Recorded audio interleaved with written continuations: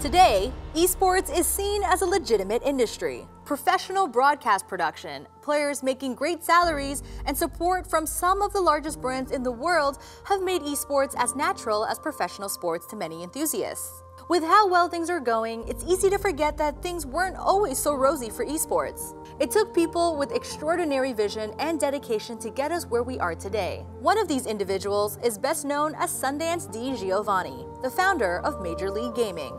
MLG was not the first gaming league formed in North America, but it quickly became the most successful. Sundance began by following in the footsteps of Counter-Strike organizers, such as the Cyber Athlete Professional League and the Professional Gamers League.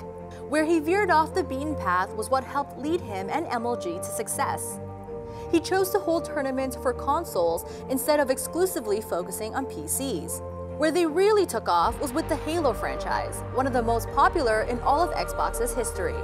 As the tournaments grew in both attendance and audience, Sundance expanded on the traditional methods of monetization for event organizers. While entry fees, spectator passes, and technology sponsors were common in the space, Sundance was one of the first to see the more mainstream marketing opportunity successfully getting brands like Dr. Pepper, Stride Gum, Old Spice, Doritos, and more involved was as easy as showing them the demographics behind his numbers. Esports was filled with young males that had some discretionary income and similar interests. This made marketing to this group easy and effective. This audience being difficult to reach by traditional means made it even more enticing for advertisers. It is not unreasonable to suggest that Sundance is responsible for the current relationship between esports and big marketing dollars that makes the industry so profitable today. MLG also made great use of the developments in streaming technology. This allowed their tournaments to be viewed not only by those in attendance, but by fans around the world. This made esports accessible to those who couldn't attend events. It also began to create celebrities out of the best players in the world. More importantly, it implanted the idea in many players with a competitive spirit that this could one day be them. The effect they had on the games they interacted with are undeniable. Halo developers put a playlist in the game called MLG, which used official tournament rules and settings. Call of Duty, the other most popular MLG title, has also exploded in popularity and it now boasts the most competitive and professionalized competitive scene in all of console esports.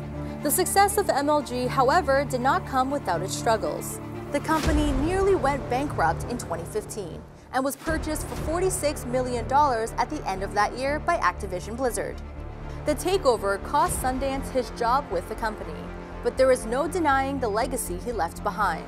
MLG has had a lasting impact to this day. It was the first esports organizer to get on North American television, it is also not uncommon to see players putting the acronym in their game tag. Their events set the standard for console esports. Although Activision Blizzard and other developers are moving towards league formats and away from events, individuals like Sundance are largely to thank for getting the industry to where it is today. His dedication to putting on the highest quality competitions and spectator experiences helped shape esports as we know them.